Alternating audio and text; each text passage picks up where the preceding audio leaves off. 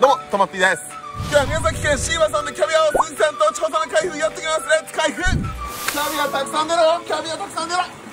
そうこれを開けるとねゴロッとゴロッと出てくる。ね。キャビアが。はいキャビアたくさん。え？キャビアなくないですか？え？今日のはオスなんで。オスカ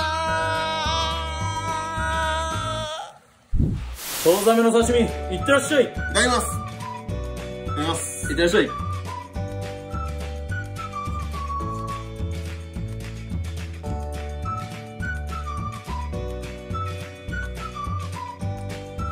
オスもハッピー